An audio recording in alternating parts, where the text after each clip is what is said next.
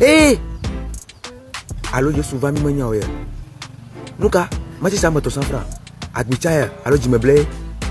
Aure on est où là 3 pour 100 francs. Ah avant. Yeah. Est-ce que vous savez que la population reste terrible à la vie chère au Togo depuis le début d'année alors que le SMIC est toujours à... Dis-moi. Bon, attendez. Je passe mon générique et je vous dis tout. Eh oui, c'est grave. Les prix des produits ont augmenté dans tous les secteurs et ça défraie ma chronique. La pauvreté et la misère voient encore plus le jour dans notre pays. Alors qu'on se disait en 2022, faut que je sorte de cette pauvreté-là. Tout est devenu cher. Et nos mamans ont d'énormes difficultés à subvenir à leurs besoins et aux besoins de leurs enfants. C'est vrai que ça touche le fond. D'énormes difficultés pour la population à vaquer à ses occupations. Si surtout le soir, revenir les mains vides à la maison. Le phénomène climatique pose un véritable problème. Les agriculteurs ont d'énormes difficultés à produire et si le rendement n'y est pas, alors ils sont obligés de se tourner vers l'extérieur, d'où la cherté des produits dans notre pays. Un véritable problème à souligner aussi est la vie chère, surtout au Togo, quand on parle de télécommunications. Donc euh, je peux dire qu'en ce qui concerne les produits février, n'en parlons même pas.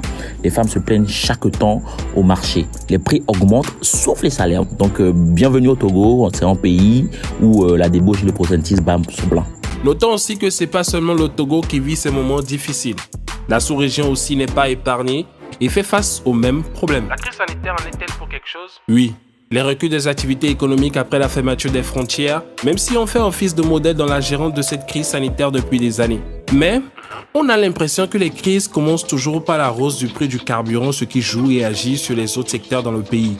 Tu vas sûrement me demander pourquoi juste dans ce secteur, n'est-ce pas?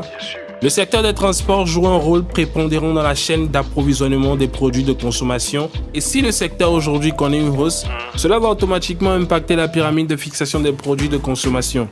Tu vois? Tout a augmenté et le pays s'inquiète. Les autorités togolaises essaient vaille que vaille de réguler le prix sur le marché local, même si la question de la vie chère est une question globale, surtout encore avec cette guerre en Ukraine qui, selon les experts, agira très bientôt sur l'Afrique, en particulier sur le plan de l'énergie, parce qu'on exporte beaucoup et c'est sûr que ça ira de mal en pire.